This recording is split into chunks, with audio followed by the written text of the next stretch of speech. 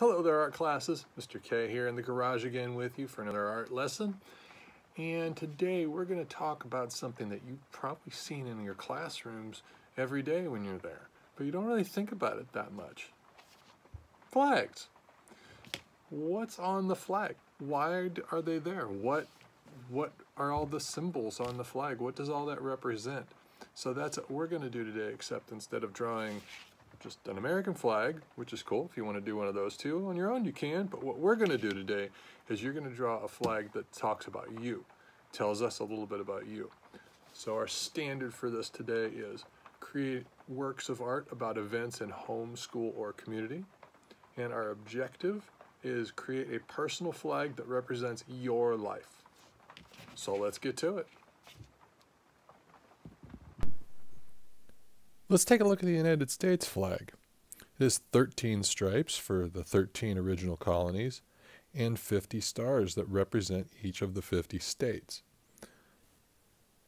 I made a sample flag to show a little bit about myself. I'm from California, so I have the waves in there to represent the beach. I have the corn because a lot of my family, like my grandparents, they are all from Nebraska and they have a lot of corn there and I like corn. I mean, who doesn't really? And I really love baseball, so I have a baseball bat in there. All these things show a little bit about who I am.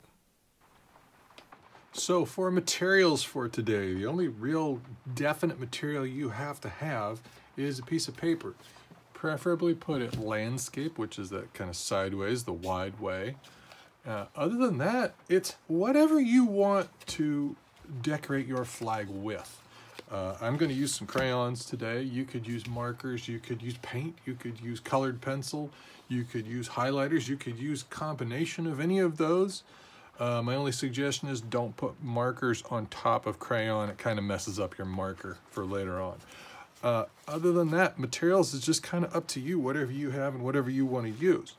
The big thing that we need to think about for our flag is what are some ideas about you that you want to tell us about.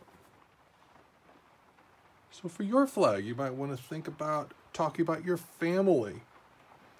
Are there any activities that you're really into that you want to talk about? Are there any things that are favorites of yours? Favorite foods, favorite movies, favorite games? And you want to think about some symbols. What are some symbols that could represent these things? Now, we don't have to draw a full picture of, if you like baseball, you don't have to draw a full baseball game. So for me, I like baseball. I'm going to talk about that. I obviously like art. I'm going to talk about that. And also my family is very important to me. So I'm going to include some information about my family in my flag. So let's see here. I've got my crayons. I'm going to do those in a moment. I'm going to start with my pencil. And let's see what happens here. So for mine, let's see here.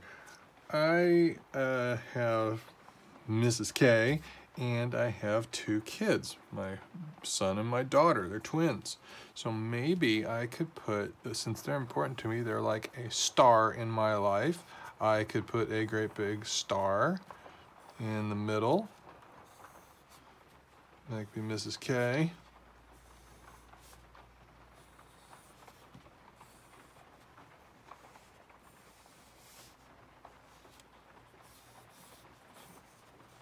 and I will put some other stars on the sides. Those could be for my kids.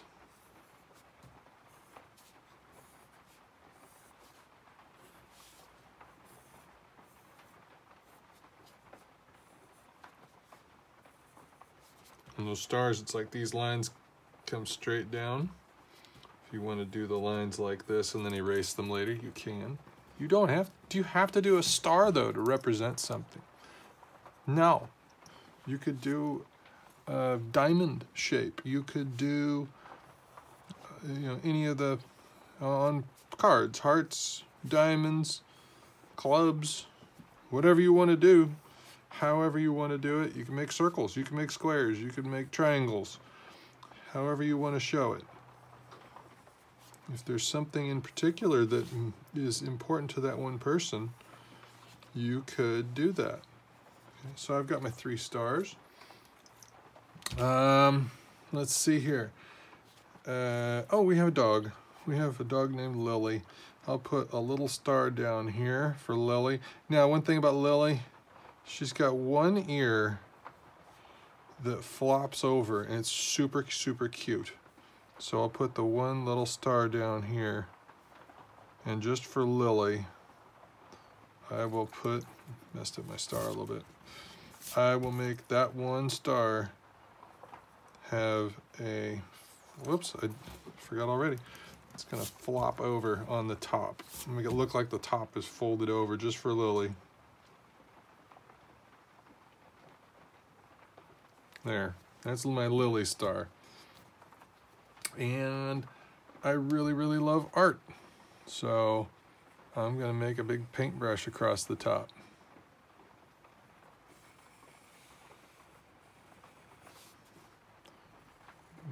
The bristles here. There, I've got my, I've got my family, I've got Lily, I've got my activity that I enjoy a lot. I'll put all those things together. I like baseball a lot, but I did that on the other other flag. So I'm gonna go with this. Now you can also do some colors in here if you want. If there's something in particular that matters a lot to you that you want to include in here, you can put some stripes, you can put uh, however you want to do it. A big circle in the back. You could have a lot of white on it. You could have it all colored in. It's all up to you. Each of these flags is going to look totally different because they're going to be all about you. So however you want to make that happen, that's your call. I'm going to go ahead and color this one and let's see what it ends up looking like.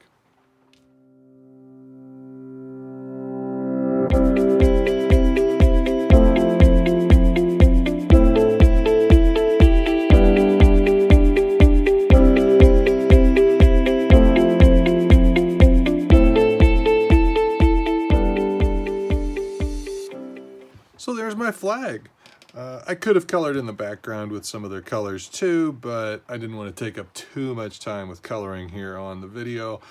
But now I, the, I have reasons. These colors symbolize something on each of these stars. My wife's favorite color is green.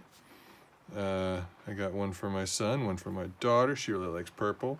And I have Lily our dog is a girl dog and she has a little kind of reddish pinkish collar so I, I went with that collar for her.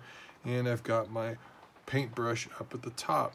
A lot of times when I've done this in the past I've had maybe one stripe of color in the background here maybe three different stripes. They could go up and down. You see that on a lot of different countries different flags. Stripe big stripes going up or down or across the United States flag has all those little uh, stripes. So however you want to do it, they can go diagonally across here.